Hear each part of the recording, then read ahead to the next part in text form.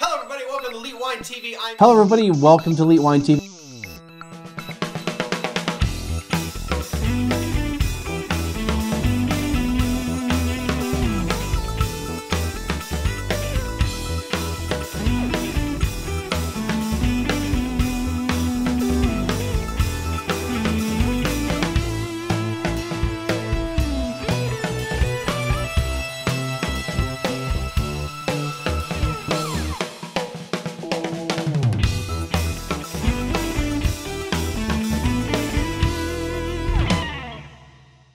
Hello, everybody. Welcome to Elite Wine TV. I'm your host, Mark Fusco, here for another special edition of the show. I have Edward Paginet. Was it close? All right, good. It's good. um, we're over here at, at Chateau Moulin à Vent versus the other. There's a ton of them that have Moulin à Vent in their name, but Chateau Moulin à Vent, and uh, this is this is my last interview, and um, and I remembered to plug in this time. So um, anyway, uh, this is my last interview for the trip, and uh, I want to first of all just start off appreciate uh, just thank you for spending some time with me. Um, also, it was uh, I know you said it would not have been a problem, but this was kind of my last minute, somewhat of a last minute um, uh, request for an interview. I mean, it was a couple weeks ago or so.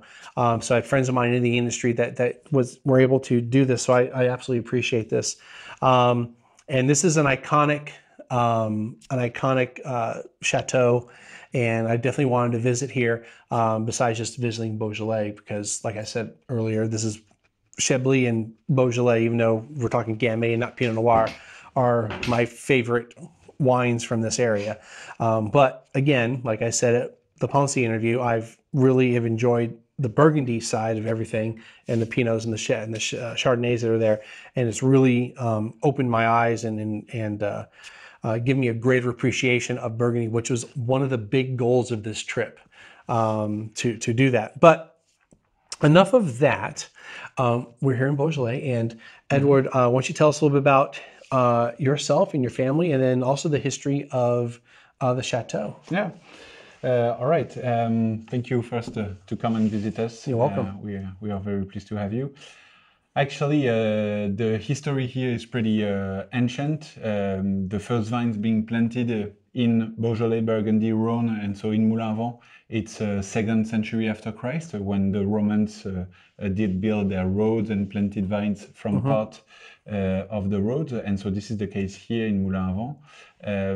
Um, actually, the the real the time when uh, the wines from uh, Moulin Vent started to be found is actually in the 17th century, when uh, a merchant called uh, Claudius Brosse uh, introduced the wines from Moulin Vent to the court, uh, so uh, to the King uh, Louis XIV. Okay. And actually, he got the agreement of Louis XIV for the quality of the wines being produced there. Um, there are many, many uh, history that shows that uh, wines from Moulin Vent have historically been reputed as the Grand Cru of the region, I, I could say. And actually, maybe the, the most the most uh, interesting uh, story about that is that um, in the 19th century, uh, the village of Burgundy started to add the name of their most famous cru to the name of their village. So Gevrey becoming Gevrey-Chambertin, Vosne, Vosne-Romanée, etc. And actually here, uh, the name of the appellation is definitely this windmill, this Moulin Vent, but the name of our village is Romanèche Thorins. And actually, in 1872, Les Thorins, the terroir of Les Thorins, we are actually right sitting on it, uh, was reputed as a Grand Cru.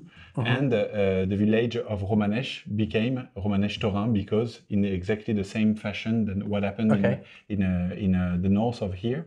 Uh, so, yeah, there is this reputation, this uh, reputation of a Grand Cru, this uh, important terroir uh, here in uh, in Moulin Vent.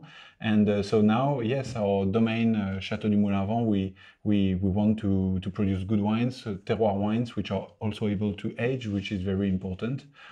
And uh, as for us, the Parinet family, so I, I am uh, Edouard the son. Uh, we are we have been acquiring this domain in 2009. So that's now eight years that we are here, making making those wines and uh, investing a lot of time here for the vines, for the bottles to be produced and sold uh, in uh, pretty much uh, everywhere in the world. And uh, yeah, that's very exciting because we have the this uh, feeling to be on this uh, terroir and this diversity of terroir. Very nice.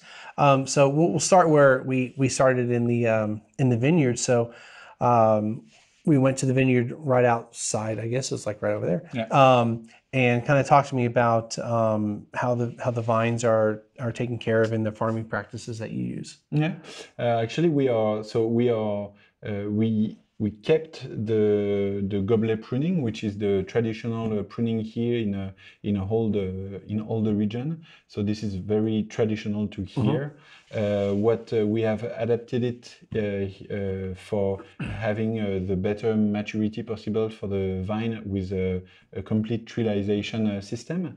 So it enabled uh, yeah the photosynthesis to be the best, and also uh, for us to work the soil uh, more easily than if we did not have the trilization. So that uh, that is a great um, I think a great system for us to make a, to to work the, the vines in in depth and to be uh, respectful of the of the soils here in Moulin. Okay. Um, and about how many hectares do you have? So in the chateau we have 30 hectares. Uh, the appellation is uh, 600 hectares big, so it's a pretty small uh, appellation. And uh, what is one of the main force of the of the domain is that we are located in the mid-level part of the appellation in terms of altitude, so between 200 and 300 meters, uh, where actually in Burgundy basically you see the the best the, the Premier and Grand Cru in this mid-level part. This is also where we are here, so uh, soils which are mostly made with uh, granitic sands, but which can have some silica, which can have uh, some uh, clay at certain in certain places, uh, which can have some metallic oxides veins here and there. So and also here, what's important to, to say is that in, uh, in Moulin à Vent and other cru, we are in a part of France which is much more uh, hilled, I would say, than basically uh, in Burgundy, which is a coat, so Right. pretty homogeneous uh, coat. Here it's much more hilled, so we also have more uh, ability to have uh, various expositions, to, to have different slopes, Right. etc., etc. Right. Um, and then a fun little tidbit um, before we walked in is that we are in the Burgundy. Well, what we're in the, the the department of Yeah, the, we are in the 71st department, which Right. is Saône-et-Loire and part of the Burgundy region. right. And But right then- across the, the road, we are in the 69th uh, department, which is Rhône, and part of the uh, Rhône, uh, Rhône-Alpes uh, region. So Mm-hmm. we are really between two uh, regions, uh, administrative regions of France, and also Right. between two regions of Rhône and Burgundy, Rhône down south and Right. Burgundy up north. Yes. Yeah. So, um, and, and and the reason I wanted to bring that up, besides it was just a cool little piece of trivia, is that um, you know we talked about this earlier. Is that um, while in, in the legal aspect, Beaujolais is part of Burgundy. Burgundy really is its own entity in many ways, and I think um, the Burgundians and the what are they the Beaujolais what what Yeah, the- the Bourgogne and then what what is, what is the people from Beaujolais called? The Beaujolais people, Yeah, No, Beaujolais people. the Beaujolais people, um, they kind of have this somewhat independence of each other um, attitude, and uh, I, I put it a little crudely um, off camera, but um, I mean, there's there's definitely a, a, a separation, I think, in in the cul- the how people each each part of the each people from each part look at the other. Um, so um, so I, I find that just I just find that a little fascinating. That um, it's always as a, as a student of wine, um, I've found that uh, like you go to the Burgundy website and they they acknowledge Beaujolais, but it's it's almost like not. It's almost like yeah, yeah they're they're there, but concentrate on this. And then the Beaujolais side is like yeah, we're we're part of Burgundy, yeah, but you know, um, so it can be very confusing sometimes when you're uh, studying and with the what you may be asked a question about Burgundy is that we have to remember as, as, as a student that it's still part of Burgundy, Beaujolais is, but it's also a separate kind of a separate thing. First, uh, for two main reasons which goes together. The first is that we are on granitic soil, which is not the, the Mm-hmm. Case in Burgundy at all, and because we have Gamay, uh, which actually is the best variety for this granitic soil. Mm-hmm. Just uh, north from Rhône, the Gamay has the best maturity uh, period and levels for Right. these granitic soils. So Gamay is just uh, the perfect uh, variety for this uh, for this soil here in uh, in Moulin. And I know we didn't discuss it, but that was a lot of that also has to do with what Philip the Bold didn't like Mm-hmm. Yeah. Gamay Yeah, in yeah. Burgundy, so he rip it all out. And so yeah, I mean, but uh, as I've talked about in in the last week's or I, I release once a week. So last week's interview or the last interview, um, you know, the uh, I, I really enjoy the the wines that are made from Gamay. So uh, so we, we talked about the we went to the vineyard and he showed me um, the windmill. So that's an iconic piece of of, of the town or uh, of the area. Uh, how long has that been there? Uh, it has been built in the 15th century. Yeah. and uh, it's now classified as a monument historique de France. So it's considered as a uh, historical building for for French uh, Right. for French uh, for French um, uh, yeah French wine region. I Yeah, okay. Yeah, yeah. Um, so it's pretty cool. I'm going to get a closer look at that later. Um, and um, and then we uh, so we talked about the vineyards and and everything you have here and and uh, kind of the exposition that you have and um, we also went into the winery. So let's kind of talk about how the grapes come into the winery and and what your process is in there. Yeah, actually, the process is a it's a very uh, simple, I would say. So first of all, of course, uh, we have this uh, uh, respectful viticulture uh, on the 30 uh, hectares of the domain. Uh, then uh, the harvest is normally happening uh, uh, in beginning of September here in Moulin à Vent. Uh, everything is handmade. Everything is uh, collected in small cases to uh, avoid um, uh, oxidation of the juices.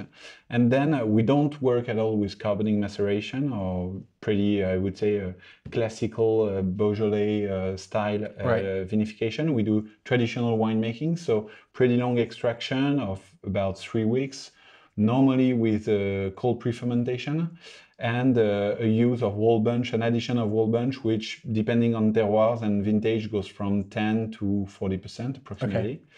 Um, so yes, we uh, this is for the winemaking and for the aging. On average, the aging lasts 11 months. It may last a little bit longer, a little Okay. bit shorter. And a third of the volume is uh, oak aged, and uh, two thirds is inox tank aged.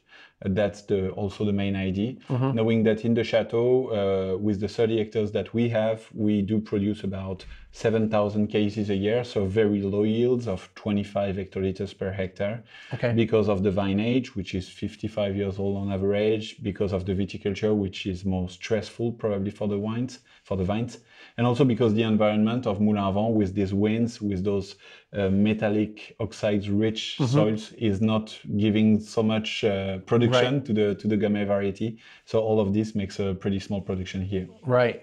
And then and this year was even smaller. And this year Yeah. was uh, unfortunately very small because of uh, uh, the very big uh, hail. Um, uh, how to say? Uh, Hailstorm. Yeah, hailstorm. Thank you. Uh, that we have got on the 10th of uh, July, and uh, which, uh, yeah, which uh, took uh, approximately 70% of the volume for Right. this uh, 2017 vintage. So we have uh, harvested what we what we could. We have um, uh, sorted a lot also on two uh, sorting tables, and uh, we'll do uh, the best quality that we can with uh, Right. what the nature has given us. I would say. Yeah. Yeah. Um, and uh, you, you have to you have to you have to do it. You have to work, you get use what you have. You can't just Yeah, magically Absolutely. create grapes. And actually, and actually, I'm saying that, but the quality of what we have got in the, in the end of the sorting table is pretty nice. I think we uh, 17 should be close to a vintage like 11, which in Moulin Vent is a great vintage. Uh, so it's a very um, uh, it's a pretty classic vintage for 2017 with a bit more maturity maybe uh, than uh, usually. So I think the good comparison will be 11 vintage for 2017. Yeah. All right. Um, and then uh, we were we actually talked about in the vineyard, um, and I just remembered about it. Um, you also have some holdings in Pouilly-Fuissé. Yeah, that's that's our very new project. I would say it's uh, it's only a, a year uh, old. So we have acquired a bit more than four hectares in the Pouilly-Fuissé appellation uh, on nine different terroirs of the Okay. appellation. So here also in Pouilly-Fuissé, it's a lot about diversity of terroir and the different uh, style of wine that we can produce there, just like in Moulin Vent. So that's pretty Right. logical. And so yeah, the, the wines are just uh, finishing their aging now uh, in in the chateau also, uh, since both appellations are 10 kilometers far away from each other. And so the wine should be uh, uh, should be released, I would say, beginning of 2018. So Okay. very soon. Yeah. Very nice. Um, And so you, we talked about the barrel aging, and you do all your malo in, in the in the barrel. Yeah, Malo, absolutely. Okay. Yeah, yeah. And um, um, yeah, I think we actually kind of talked about all that, didn't we?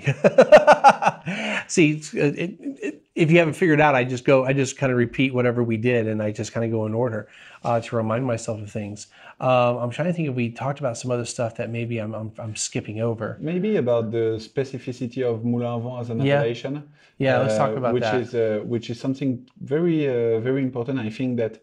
Uh, as I said before, uh, Moulin à Vent has this reputation of being the Grand Cru here in the region, and I think there are two reasons that uh, which explains this. The first one is that we have this windmill, this Moulin à Vent, and uh, actually, uh, if this windmill is there for has been there for the five last centuries, is because the winds can be pretty powerful. And actually, right before harvest, end of August, beginning of September, when it's still pretty hot here, when the winds are blowing, they're able to dry to concentrate the berries. And so it uh, helps the wines of Moulin Vent, more specifically, to have more concentration in comparison with other cru. Uh, so this windmill is a proof of the specificity of Moulin Vent as an appellation. And also, um, something which is also very interesting is that uh, till uh, 1919, in the village of Romanèche-Thorins, which is just uh, over here, uh, there was a manganese mine. The manganese is, um, is a component, a natural component, which goes in the composition of uh, inox, actually. Right. And at the time, uh, this mine of manganese in Romanèche-Thorins was the biggest production of manganese in France. So that was a pretty huge production for, for France. And the manganese by itself has not a big impact, but the manganese combines natu- naturally with metallic oxides and noticeably iron and copper oxides. And actually, here in Moulin-Vent, more specifically than in the other cru of the appellation, we have this presence of metallic oxide, which also have supposedly, but this is pretty logical, uh, an impact on how the vines will take uh, from uh, the soil. And actually, Okay. it's not taking a lot because of the presence of these oxides. And so, this is also a way to explain why the Gamay here is not producing so much and is pretty uh, producing less and keeping Okay. the, this concentration also. Um, and then, I I mean, I should have asked you in the mid year about the wind. Um, and and forgive me if I really don't know this, as I probably should know this. This is not related to the Mistral No, no, because that's farther south. That comes from. Um, Yeah, it's, from it's it's mostly coming from west southwest direction, and the, just behind us uh, uh, in a corridor which is between Fleurie and uh, Moulin Vent. okay. Actually, it's just very local, you know. It's just Yeah. like uh, I would say, just like hailstorm is so local. Mm-hmm. These winds they just take a, a little corridor which is very close to Poncié, Mm-hmm. and normally the winds come from the west to us. Right. But it's a very local, yeah, wind Yeah, uh, okay. corridor. I would say. Just it, it just really just trying to remember rem, rem, rem, uh, figure out remember my French geography and where the Mistral actually comes from. We're you know, we're not there. Even though no, we are we're not there. the northern limit of the Rhone, we're really not in the Rhone. So. Absolutely. Um, and uh, I was trying to think if we had anything else that we that we chatted about because we did talk about the wind, and I forgot about that. Anything else we? Uh, but uh, about the wines of the of the domain, so Yeah. all the all the wines of the domains are estate produced. They are all coming from our, our fruits. Uh, Mm-hmm. We do two blends of different uh, um, uh, terroirs, uh, Couvent des Thorins and Château du Moulin Vent, and then some single vineyards, which Right. corresponds to a specific terroir of Moulin à Vent. So so far we have uh, isolate uh, Vérillats, Chandecourt, Rochelle, and a very small cuvée uh, which is called Clos de Londres. Um, so yes, that's what we produce in Moulin à Vent, and we try to show uh, the potential and the diversity of this terroir of, uh, of Moulin à Vent. Do you have any other um, uh, terroirs that you might be looking at in the future, or are you still? In Moulin à Vent, you mean? Yeah, or- from yeah, yeah. As far as like you know, are any more specific, any uh, any other specific terroirs that you already have that you might look at Yeah. creating? Probably, I think in uh, in the um, in the section of uh, uh, Vérillats, Rochelle, and Champ de Cour, we also have terroirs like Les Thorins, uh, like Le Moulin Vent, which are very central, uh, historical, and well reputed terroir of uh, of the appellation, which could probably uh, be interesting to follow for the for the for the years to come. Um, but nowadays, we are pretty. Uh, for 2017, we are pretty happy to already Right. are able to show these uh, uh, three different uh, terroirs of Moulin Vent with uh, Verrières, Champ de Cour, and Rochelle. Okay. And uh, but yeah, hopefully in the in the next years to come we will uh, have uh, more of them. All right, very nice. Um, I think we've pretty much covered everything that we talked about. Um, you have anything else you want to? Uh, do I actually about the history of the domain? Saying Yeah, that- we, we, we yeah. kind of did briefly I- talked about yeah, it. If we could yeah. use a little more, that'd I be talk great. more about the history of the appellation, but in the domain. So this is a very uh, historic domain, na- to taking the name of the, the appellation itself, Right. Château du Moulin à Vent. Uh, the domain is dating back from 1732 at the latest, so probably be, uh, from uh, older than this, but the first proven date is 1732. And yes, uh, the the what I what I can also say is that uh, the wines from here, from the Château du Moulin à Vent, they were already on some very old wine list uh, of restaurants in the beginning of the 20th century, and that's pretty fun to see that the wines from Château du Moulin were priced pretty much the same way than Vosne Romanée, Gevrey Chambertin, or things like this. So that's also, uh, um, uh, yeah, a testimony of uh, how uh, Moulin uh, was uh, and Château du Moulin was reputed at this time, and hopefully we will, uh, Yeah. uh, we will take the, the lead to uh, to uh, to to show this again. Yeah. Well, I mean, you know, the as a region, I mean, as a whole region of Beaujolais, I mean, it's um, we look at it as um, it's a great value uh, as far as a wine because you do have uh, some very expensive Burgundies, and I, I know we're talking different grapes here, um, but um, you know, we as as somms and just consumers, I guess, you know, we look at Beaujolais as as you know being a great alternative, but at the same time, you know, I recognize that these are outstanding wines in general. Like they pretty much are underpriced. Yeah. Um, so at some point, you know, someone's going to figure this out. I mean, as far as the consumer, and they're going to start. It, it, it'll it'll get bigger. Yeah. Um, I mean, the, I absolutely love these wines, and they're kind of like a lot of somms love them too. Um, not because of the price point, but they love them because of what they are. Um, because they also love expensive wines. And I But, think uh, that uh, yeah, the, the wines from Moulin Vent, uh, they have they are pretty some wines from what I experienced because they can pair with a lot of various uh, dishes. Mm-hmm. First of all, because of course they are good quality, they are not so known, so it's also a discovery for many uh, customers.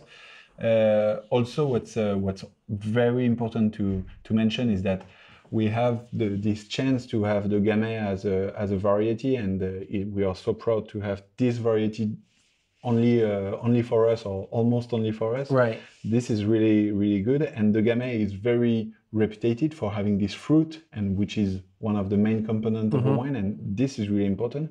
But I guess that on terroir like Moulin à Vent, on this uh, pretty serious and uh, and uh, how to say uh, poor terroir of Moulin Vent, Yes. We are also able to produce wines which are able to to be kept for a long long time. Depends on the vintage of course but on a very nice vintage like 9 11 like 14 15 this is a 20 25 30 years old Right. ring that we uh, we can experience with this wine. And this is not so much known but there are a lot of um, uh, history and uh, uh, uh, how to say a proof of people telling they have got this blind tasting. Right. with some different burgundies and one moulin à vent was there and the moulin à vent is just you know uh, taking the taking the show Right. so that's also important to know that these wines on good vintage just like any wine region in the world they have this ability to be aged for a long long time Yeah. Um, yeah, it's like I said, the the, the wines themselves here, uh, as far as the region, and I mean, I've had some of the Moulin à Vent before. Um, you know, these are spectacular wines, and and if you see a Beaujolais like Cru Beaujolais, you definitely should be checking them out. Um, don't just wait for the stuff in November. Um, anyway, I'm not trying to badmouth it because you know that it's it's it's just like anything else. There's a market for everything. Um, but um, if you want to have some really cool Beaujolais, you need to do the crus and and all that. There's what 10, Yeah. 10 cru. Um, so yeah, there's um, you got a lot, and they all have different personalities and and all that. So um, you know, I I think um, you know, this has been a wonderful trip. Uh, this has been a wonderful visit. Uh, I want to thank you again uh, for taking the time with me. Um, uh, we're going to be tasting some wine off camera, but um, uh, you definitely want to uh, again in, uh, thank you for your time. that was a uh, pleasure. and Great to pleasure. give me a great tour of the place. And um, we look forward to trying some wine here in a little bit.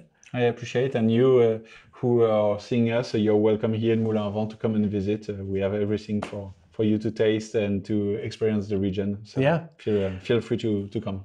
Absolutely. Um, all right, folks, we're going to wrap it up. Uh, as always, you can click the links above to friend me up, and then I'll have links below uh, for the chateau and how you can how you can get in contact with them uh, and come see them.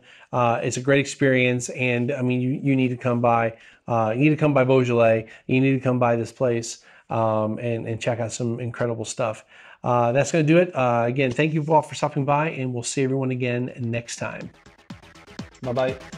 Au revoir, as they say.